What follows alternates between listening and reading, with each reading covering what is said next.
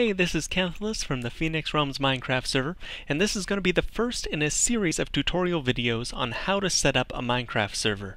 This one I'm just going to do it right off of my computer, and we're going to need a couple of things to get started. We're going to need the server.jar file. So here at minecraft.net, we go to play Minecraft beta, download, and we're not looking for the exe, we're looking for the Minecraft server.jar. So snag that one and go ahead and download that. And we're going to need Bukkit.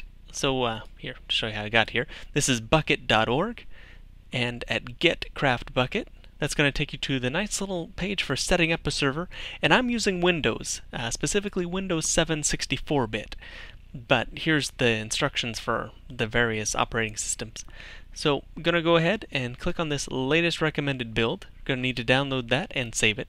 So I've got the two of those files right now in a folder that I've made just off of the C drive here, Minecraft demo server, and here the two of those are. Now we're going to need the batch file that we'll use to stop this and start, I mean, this thing.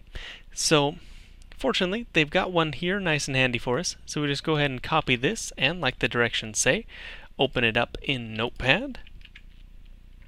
And I'm going to change out this program files with percents around it to the spot where program files is on my computer. And it's going to have the x86 in there since this is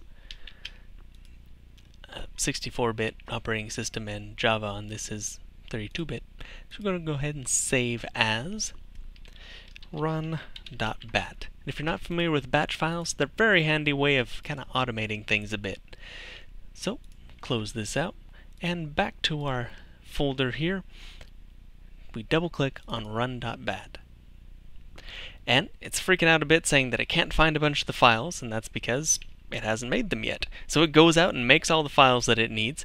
Um, some ones of note, like we've got server.log, that's where all the log files will end up, so that's a handy one to have, uh, take a look at in case something goes wrong and ops.txt, you're probably going to want to add your Minecraft username to that because that's the like super users for this. And then we've got the plugins and world folder. It just finished making our world and then the plugins folder is where we're going to be putting the plugins after just a bit. So going to go ahead and conclude this as the first video. That's how you get a server up and running for Minecraft with Bukkit. Next, we'll look at installing a plugin, and in so doing, have to install MySQL.